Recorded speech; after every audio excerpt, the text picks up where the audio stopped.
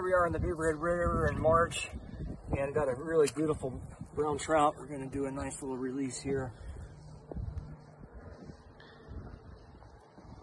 Here he goes. Healthy as could be.